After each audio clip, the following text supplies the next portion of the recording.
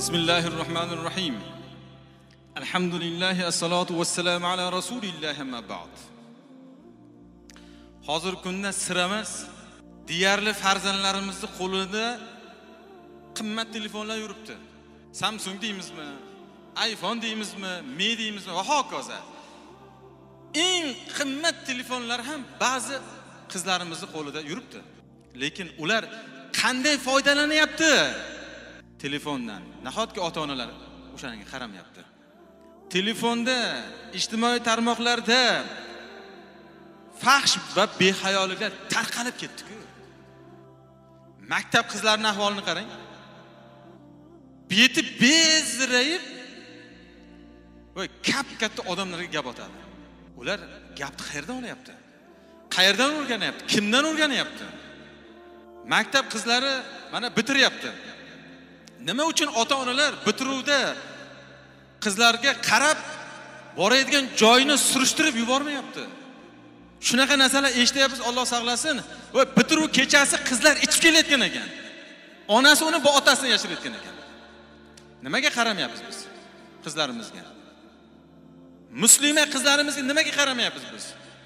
Ijtimoiy tarmoqda o'tirib olgan fahsh narsalarni ko'rayotgan qizlar kelinlar kap katta ayollar.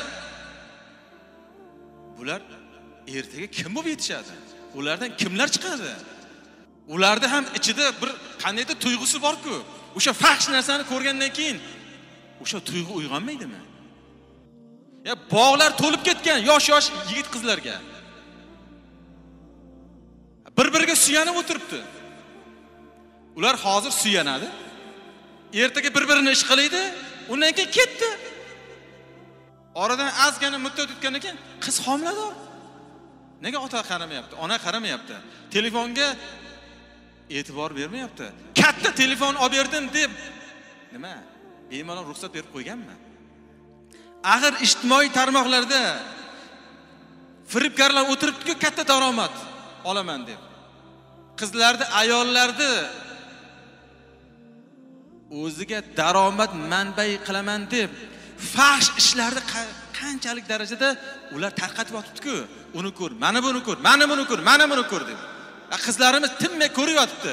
Ko'rganda ham bitta ikkita emas. Besh olti kishi bo'lib olib aylana tushib ko'rib yotibdiyu qizlarimiz. Nega ko'rmayapti? Nega qaramayapti ota onalar bo'lgan voqeani aytib beraman. Bir yigit aytib beryapti.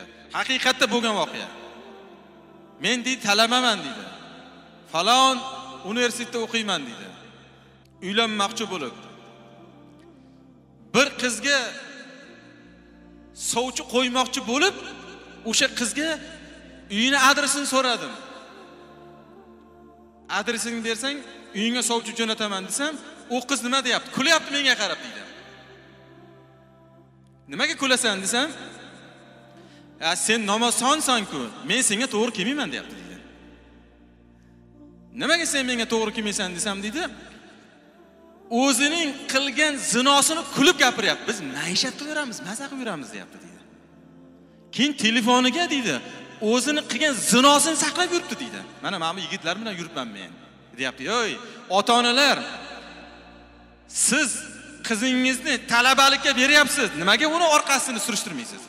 Palan million kontrakt to'layapsizu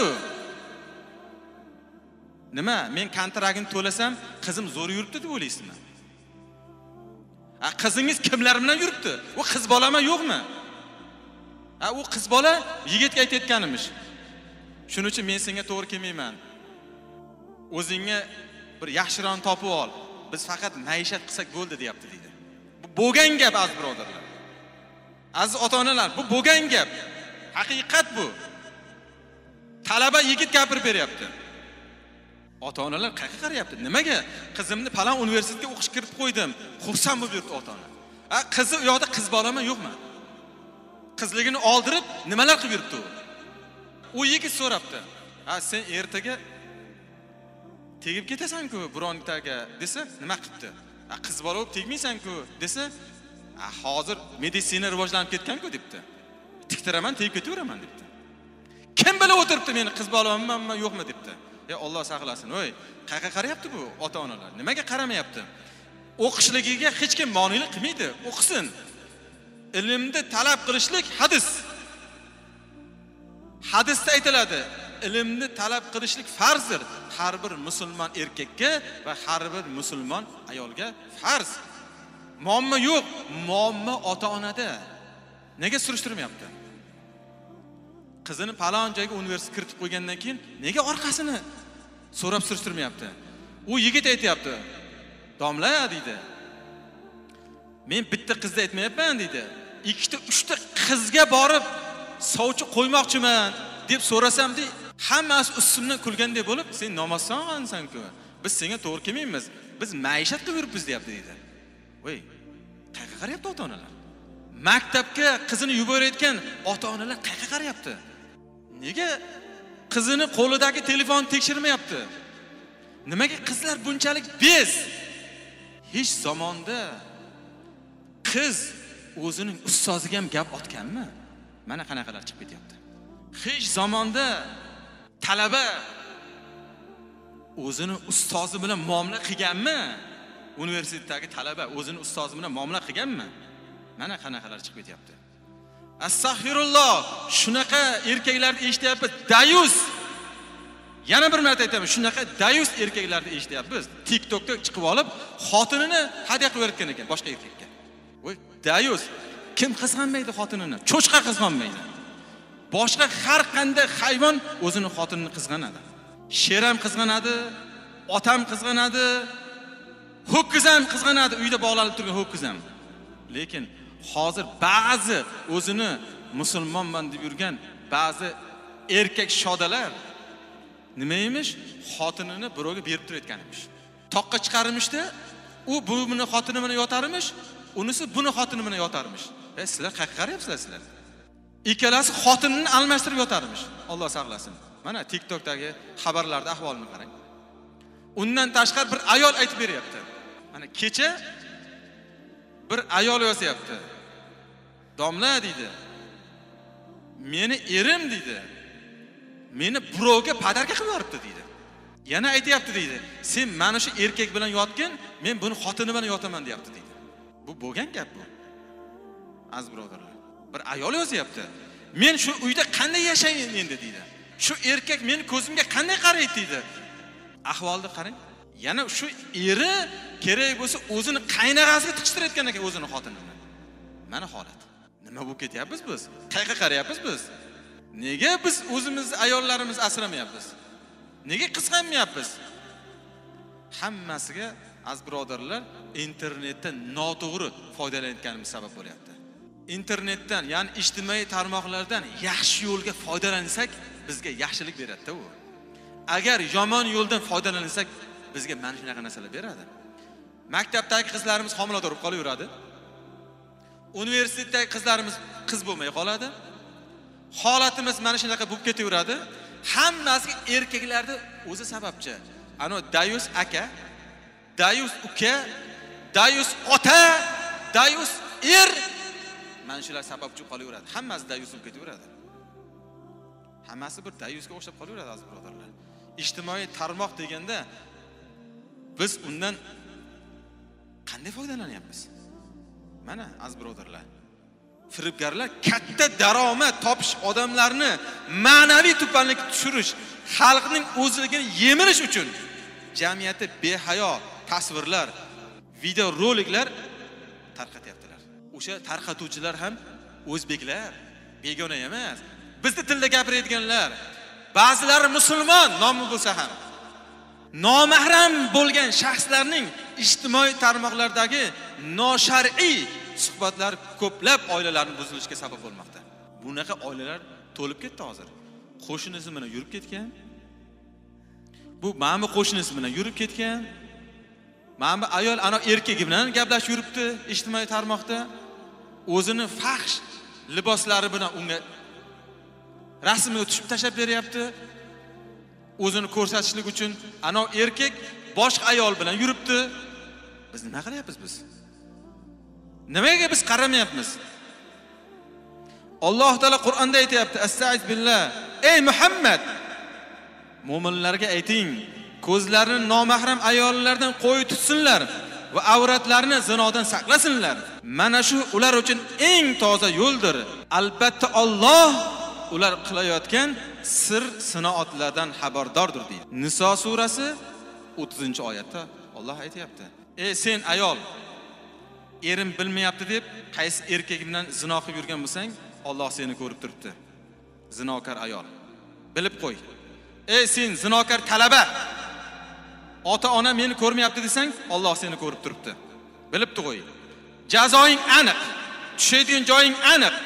Ey sizlar ota onalar qizlaringizni maktab o'quvchisimi yoki talabami universitetda? Agar sizlar ularni qadamidan voqif bo'lmasangiz ular zino qilib yurgan bo'lsa ularga zino yuzasidan qancha gunoh yozilayotgan bo'lsa sizlarga 10 barobar yoziladi va sizlarga dayuslik ham yoziladi. Dayus esa hech qachon jannatga tushmaydi. Sizlar men bilmayapman men ko'rmayapman deyapsizlar lekin Alloh bilib turibdi. Alloh ko'rib turibdi. Ey sen erkak dayus qizg'anmaydigan erkak o'zini xotinini ijtimoiy tarmoqlarga reklama qilib yurgan erkak sen haqiqiy axlatsan sen haqiqiy musursan. O'zingni xotiningni tiktokka o'zingni reklama qilasanmi pul ishlayman deb xotiningni birovga hadya qilyapsanmi sen haqiqiy dayussan sen haqiqiy axlatsan musursan boshqa hech kim emassan uyingdagi ho'kiz sendan afzaldir bilib qo'y. Uyingdagi agar eshaging bo'lsa eshaging sendan afzaldir chunki sen o'zingni xotiningni qizg'anmasdan birovlarga padarga qilyapsan. Mana sen kimsan? Bilib qo'y. Yana dayus erkaklar bilib qo'yinglar. Ayollaring qizlaring opa singillaring agar ijtimoiy tarmoqlarda o'zini fahsh qiliqlari bilan o'zining yomon qiliqlari bilan chiqayotgan ekan senlar dayussanlar boshqa hech kim emassanlar. Senlarga dayuslik muborak bo'lsin. Ertaga do'zaxda yaxshigina yonishingni ko'zingni oldiga keltiraver ey sen o'zingni reklama qilib chiquvchi ayol orqangni ko'rsatasanmi oldingni ko'rsatasanmi boshqa joylarni ko'rsatasanmi layk to'playman pul ishlayman deyapsanmi sen muslima emassan sen haqiqiy axlatsan. Sendan ko'ra mol afzaldir. Chunki mol ham avratini dumi bilan bekitadi. Mol ham bilib qo'y mol ham avratini dumi bilan bekitadi. Dumini hech qachon ochmaydi. Demak sen moldan ham yomonsan.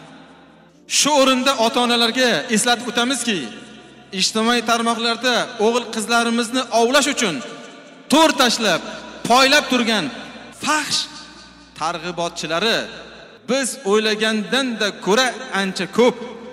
Farzandlarimizni ularni qo'liga topshirib qo'ymaylik. Ularga o'zimiz ega chiqaylik. Buning uchun chiroyli tarbiya berish bilan birga doimiy nazoratni ham unutmaslik kerak. Zero yoshligidan fahsh botqog'iga botgan o'g'il qizning kelajagi mavhumdir. Bilib qo'yinglar. Maktabdagi qizlarga ham qarang.